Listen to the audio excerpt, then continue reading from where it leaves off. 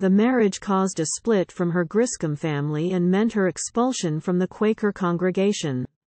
The young couple soon started their own upholstery business and later joined Christ Church, where their fellow congregants occasionally included visiting colony of Virginia Militia Regimental Commander, Colonel, and soon to be General George Washington, of the newly organized Continental Army, and his family from their home Anglican parish of Christ Church in Alexandria, Virginia, near his Mount Vernon estate on the Potomac River, along with many other visiting notaries and delegates in future years to the soon-to-be-convened Continental Congress in the political, military leadership of the colonial rebellion. Betsy and John Ross had no children.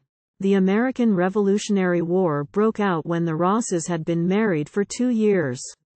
As a member of the local Pennsylvania Provincial Militia and its units from the city of Philadelphia, John Ross was assigned to guard munitions. He died in 1775. According to one legend, he was killed by a gunpowder explosion, but family sources provide doubts about this claim. The 24-year-old Elizabeth, Betsy, continued working in the upholstery business repairing uniforms and making tents, blankets, and stuffed paper tube cartridges with musket balls for prepared packaged ammunition in 1779 for the Continental Army. There is speculation that Ross was the beautiful young widow who distracted Carl von Donop in Mount Holly, New Jersey, after the Battle of Iron Works Hill, thus keeping his forces out of the crucial turning of the tide Battle of Trenton on the morning of December 26, 1776, in which Hessian soldiers were defeated after the crossing of the Delaware River. On June 15, 1777, she married her second husband, mariner Joseph Ashburn. In 1780, Ashburn's ship was captured by a Royal Navy frigate and he was charged with treason. For being of British ancestry, naturalization to American colonial citizenship was not recognized, and imprisoned at Old Mill Prison in Plymouth, England. During this time, their first daughter, Zillah, died at the age of nine months and their second daughter, Eliza, was born. Ashburn died in the British jail.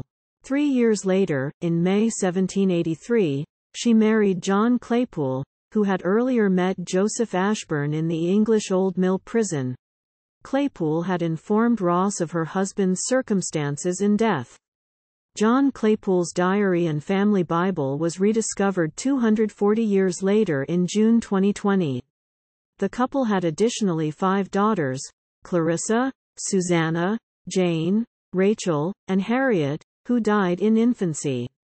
With the birth of their second daughter Susanna in 1786, they moved to a larger house on Philadelphia's 2nd Street, settling down to a peaceful post-war existence, as Philadelphia prospered as the temporary national capital, 1790 to 1800, of the newly independent United States of America, with the first president, George Washington, his vice president, John Adams, and the convening members of the new federal government and the U.S. Congress. In 1793, her mother, father, and sister Deborah Griscom Bolton, 1743 to 1793, all died in another severe yellow fever epidemic, a disease unknowingly caused by infected mosquitoes. After two decades of poor health, John Claypoole died in 1817. Ross continued the upholstery business for 10 more years. Upon retirement, she moved in with her second Claypoole daughter, Susanna, 1786 to 1875, in a section of Abington Township, Montgomery County, Pennsylvania. Her eldest Claypoole daughter, Clarissa, 1785-1864, had taken over Ross's business back in the city. Ross, by then completely blind, spent her last three years living with her middle Claypoole daughter, Jane, 1792-1873, in rapidly growing and industrializing Philadelphia. On Saturday, January 30, 1836, 60 years after the Declaration of Independence, Betsy Ross died at the age of 84.